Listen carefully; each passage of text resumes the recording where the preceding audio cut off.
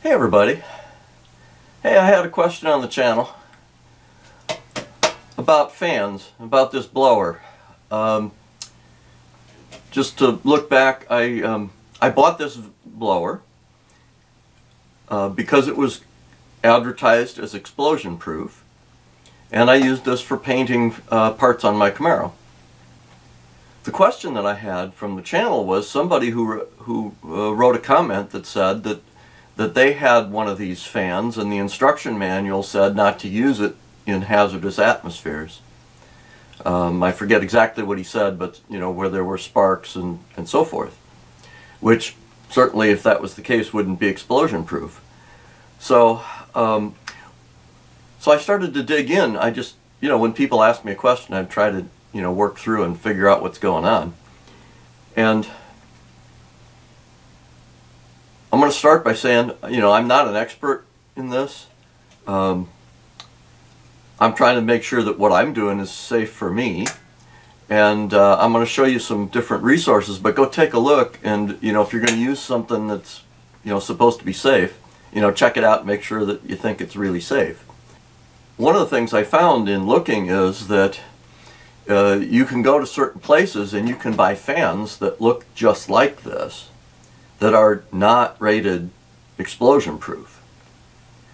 And you know, definitely would not be. They're not advertised as explosion proof, but they look almost the same. It could be deceiving. So how would you know is kind of my question.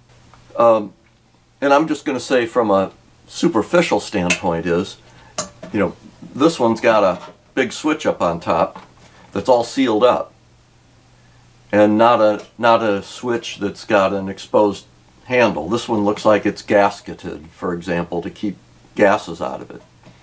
If you look through the end, the motor is pretty well sealed up. I don't see any openings on it. It's just, just me looking, right? Um, according to the advertising, this one is a Vevor sold by Vevor. Uh, it's a BTF 30. The rating plate says it's an explosion-proof axial fan. Their advertising says that it's rated to an ATEX, ATEX standard. So they call this, you know, an ATEX rated fan. Um, what's an ATEX rating, right? What does it mean? And ATEX is a European standard for equipment that's used in explosive atmospheres, and that's why it has EX on things. And in my study, what it said was that you know you, you should watch out if you're using them in the U.S. and you're a business um, that uh, uh, that OSHA, American USA OSHA, requires things certified by a U.S.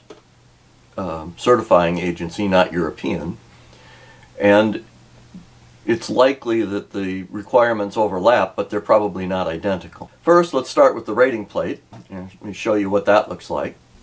This is the rating plate on my Vevor fan. And you can see down, it's got a CE label down in the lower left. It's got an EX symbol up in the upper right.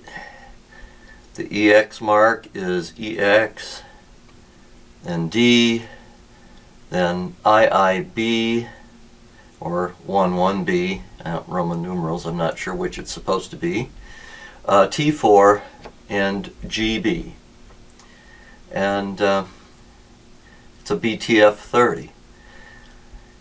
And personally, if I didn't have that um, information on this rating plate, I would not consider this an explosion-proof fan.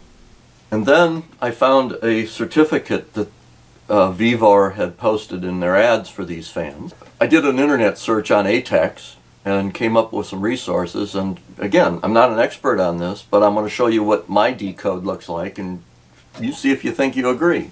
There's an example of how these markings uh, look.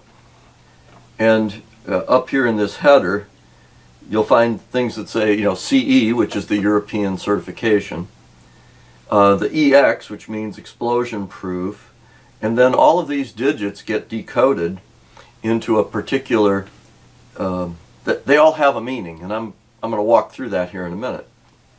So the rating plate on mine is EX, uh, then D, then 2B, then T4, then GB. And the certificate that I found posted on, on the website, it was just a picture of a certificate, but I'll show it to you again in a minute, um, is, a, is a 2, Roman numeral 2, then 2, then G, EX, then DB, 2B, T4, GB. So it added a few extra digits to uh, what's on the rating plate. And if I go into, you know, one of the ones that I found here, you can kind of follow the red arrows, but the Roman numeral 2 says that in its category, looks like it says that it's intended for use where there are explosive atmospheres with mixtures of air, gases, vapors, mists, or dust. Hmm, that sort of makes sense. Uh, category 2, equipment category 2, it says it's for gas, vapor, and mists. And uh, it looks like, if I decode it correctly, that it's for zones 1 and 21, 1 slash 21. And I had to go look those up. And it says an area where an explosive atmosphere is likely to occur. So, you know, up to 10% of the time you'd have an explosive atmosphere. And the G says that it's specifically certified for gases, not just for dust. It, it looks like maybe, you know, gases are more um, harder to protect against than dust. But don't know that. It's just kind of, I'm reading, trying to read between the lines. Um, and then at the bottom there's the EX symbol, which means that it corresponds to protection uh, for these uh, various standards. Then the dB, the dB and or D, the small dB and the small d, uh, up here says that it's, it's flame proof, that it contains explosions or prevents explosions. Hmm, that sounds pretty good to me. Uh, the 2B is is for a particular level of gas. They've apparently categorized gases based on how explosive they are. And and, and they kind of work their way up. So, you know, 2A is propane. That be, seem to be pretty explosive. Then they've got ethylene, and this one is rated for that. But it's not rated for a gas, um, I mean, they're going up to hydrogen, which is pretty doggone explosive stuff. And so I guess this one's not rated for being in hydrogen. So it says explosion proof, but like anything else, you really need to read between the lines and make sure that what you're buying or using is appropriate for what you're going to use it for. Um, the last one down there, the T4, the T4 is temperature class and it's 135C and I'm trying to remember, I think that was like 275 degrees Fahrenheit. So the surfaces of the motor inside here, none of the parts in operation should exceed that. And, you know, every explosive atmosphere has some ignition temperature. And the hotter the parts, the more likely you're going to set it off, you know, by being just too hot, right? You know, it'd be like an electric stove burner, right? If it's glowing cherry red, it's liable to set things off. So the maximum, the maximum surface temperature is 135 C in operation.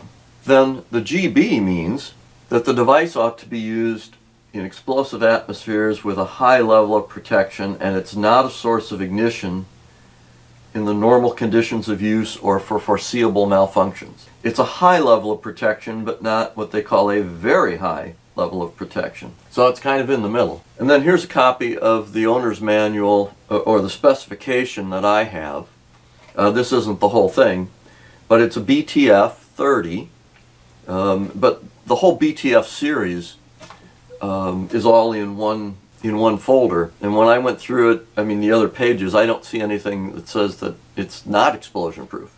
This was the certificate that I found posted online. Now I'll be straight, it wasn't um, it wasn't posted with my BTF 30, it was actually I think posted with a BTF 20 or 25. It was a smaller diameter fan, but same design. It appears that all the BTF series are certified uh, similarly based on the on the way this, you know, even here it says BTF series uh, axial fan is for this certificate. And if you go all the way down there to line number 12, there's where where I picked up the the extra digits. That it, you know it's EX um, 2 2G then EXDB 2B T4 GB. Same series, right? That's where I got it. And this is signed off by an organization called DNV. And actually, in my time in the auto industry, we worked with them. They're a, a global, I think they're Norway based. Yeah, it says down at the bottom uh, that they're Norway based, but they do global operations and they would come in and certify us to ISO specs, uh, ISO certification and various things um, in the auto business. There are quality standards that are ISO specs that in the auto business that we had to uh, adhere to for uh, in our engineering processes and methods and manufacturing and so forth. And so uh, DNV was the registrar that we worked with, and their auditors would come in and, and, and check us. So I'm familiar with the company; they're pretty thorough. So my my bottom line message is that if you buy a fan and it doesn't have this rating plate on it, it's not explosion proof. I wouldn't trust it to be. I mean, check with the manufacturer. Uh, uh, I'm again, I'm not an expert. I'm just telling you what I'm reading. And I would say go back to the manufacturer and find out. But in my case, um, I'm not using this in a professional body shop. I'm not subject to OSHA. This is for my personal use. Um, it meets an explosion proof. So I was comfortable using it to paint parts for my car. If you need to go beyond that, the next level would be to look at UL certifications probably. Um, they're, U, they're one of the main listing organizations in the U.S. I'm pretty comfortable, I, but just my warning would be is if you find a fan and it looks like this, read the rating plate and if it doesn't, if it isn't certified to this or an equivalent U.S. UL standard, um, I'd be very careful about it. So I hope that answers the question and that's all for now.